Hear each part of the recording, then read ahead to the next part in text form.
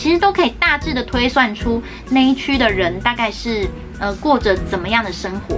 然后如果有管理员或者是有遇到邻居本人的话，也可以看一下房东跟那些人是怎么样互动。Hello，大家好，我是恰，欢迎来到我的频道。今天的影片主题是租屋心得分享。就是呢，因为我现在住的这个地方，对于拍片来说有一点太小，就每次我要拍东西的时候都要瞧来瞧去，有点麻烦。所以大概从半年前开始，我就有想要搬家的念头。看房子看了大概两三个月吧，终于在最近找到了一个不错的物件，所以我就要开始准备搬家了。最近真的超级忙，这也就是为什么我的频道最近更新不是很稳定的关系。之后我应该也会拍一些布置还有改造新家的影片。不过今天呢，想要先来跟大家分享我在租房子的时候的心得，还有一些小小的诀窍吧。可能有一些网友啊是最近刚好想要第一次租房子，然后不知道要怎么下手，或者是有一些人他可能一直找房子都不顺利，狂踩雷什么的，说不定就可以参考看看。那有兴趣的话就继续看下去吧。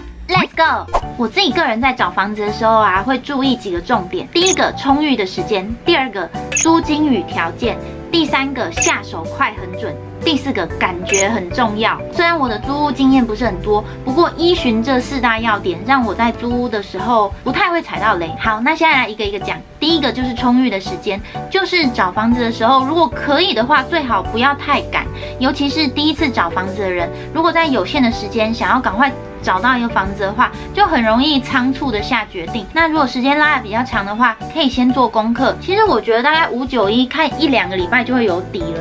大概嗯，在哪个地区怎么样的预算，然后房子大概是怎么样的等级这样子，先有一个底之后再继续看，就比较可以分辨出哪一些房子它是贵的，哪一些房子是便宜的。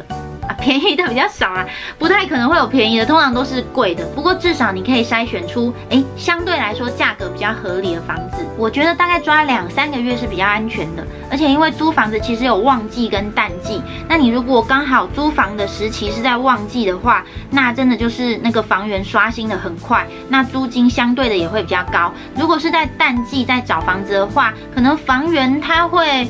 不会那么常更新，但是你可能就比较有机会跟房东谈到比较低的价格。那怎么样叫做淡季跟旺季呢？其实就是按照大家的工作还有学校的形式力，像是很多人都会在过年的那段期间要换工作，那那个时候可能就是找房跟换房的时间点。像是学生可能开学的那个时候，很多人就会需要找新房子，然后在放暑假或者是放寒假前，可能就是会很多人想要退租。大家就是可以根据这几个时间点来调配自己找房子的时间。第二。点是预算跟条件，如果有钱的话，谁不想要住豪宅呢？可是我们就是市井小民啊，所以还是会想要在预算之内，尽量的去租到 CP 值比较高的房子嘛。一般来说，房租的预算会建议设定在呃你的月收入的四分之一到三分之一左右，因为它就是一个固定支出的钱，所以你如果比例太高的话，那你就会很痛苦。而且房子的条件其实就是会根据租金有变动啊。那你如果先了解行情，然后再设定好预算，就比较可以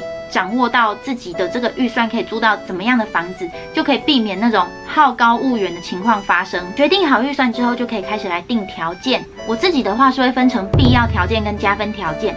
如果没有满足必要条件的房子，我会全部都刷掉，然后再根据这个加分条件的满足程度来提高我的那个预算的上限。可能就是设个一两千。如果这个房子全部都满足你的理想条件，然后它还有好几个加分条件的话，那可能房租就贵个一千两千，还可以接受这种感觉。这边有一点我自己的小诀窍，就是我不太会去租那种已经装潢好的房子。因为有一些看起来很漂亮房子啊，其实它是表面上漂亮，它其实房子本身非常的老旧，可是因为有装潢过，所以它的租金又会比较贵。那我会找一些本身没有装潢过，但是有改造潜力的房子。我的必要条件是跟大家分享一下，一定要独立门户，有自己的门牌跟信箱，然后水电自付的那一种，然后要有厨房跟阳台，对外窗，格局方正，还有卫浴设备不恶心，这个很重要。我自己在找房子，其实会比较倾向找那种有管理的社区大楼，因为这样子倒垃圾还有收包裹的时候会比较方便。然后还有一些安全的考量。那其实这个必要条件每一个人都不一样。像我没有车，所以我就会想要住在离捷运近的地方。欢迎收看 VS Media，我是戴小苏，我是风狗编。周一至周五每天中午十二点，小编造口业陪你聊聊最热门新闻，每天直播在线等你哦。拜拜。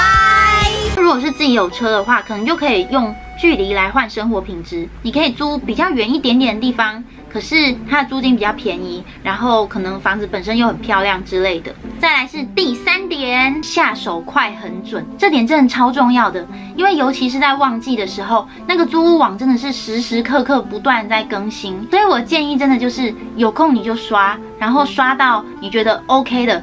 赶快打电话，赶快约，然后约一个最早的时间，不要在那边等什么隔天下午或者是今天晚上。如果你现在有空，你就现在去看，因为我们这次其实就有两三间是那种跟房东约的时间是隔天的下午，然后隔天早上房东就打电话来说，哦不好意思，刚刚来看房的房客已经说要租了。好房子真的是稍纵即逝诶，所以大家下手要快很准。租屋网它上面不一定会有完整的地址，可是你可能已经可以知道它是在哪一个巷子，那你可以先去 Google 看一下它的。街街景就是看看它附近有什么东西啊，还有那个巷道的感觉是怎么样的。有时候那个房子不一定本身有什么问题哦，可是它可能附近有一些设施是会影响到你的生活。呃，我举个例子，比如说学校或者是公庙之类的，那他们可能就会在特定的时间会吵啊，会有一些活动什么的。这个就是你在看租屋网上面是看不到，你可能要自己去 Google 才会知道周围的环境啊。可以事先调查的话，你就先事先调查好。实际在看房的时候，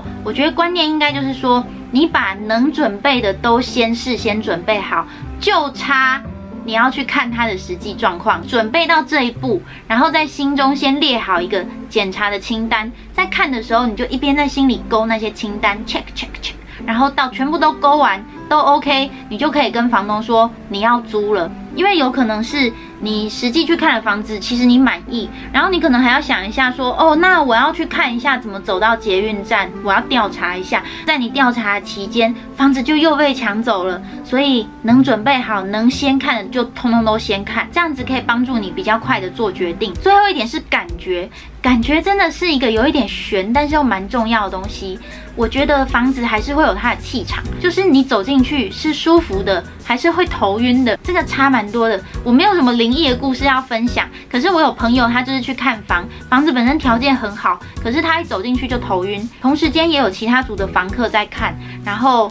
他们离开那个房子之后，有稍微讨论一下，他们也有一样的感觉。那我觉得那个房子可能就是有一些隐形的朋友还是什么的。除了感觉房子本身的氛围之外，还要感觉人，就是你的邻居，还有那一代的人，大概都是过着怎么样的生活，怎么样的家庭结构。这个其实我觉得可以从就是楼梯间，有时候可以看到一些其他住户他们的。东西什么鞋柜啊，或者是有小朋友的话会有小车车，然后还有阳台有没有种盆栽，或者是你走到那一区有没有听到有人在练习乐器啊，钢琴的声音等等的，其实都可以大致的推算出那一区的人大概是。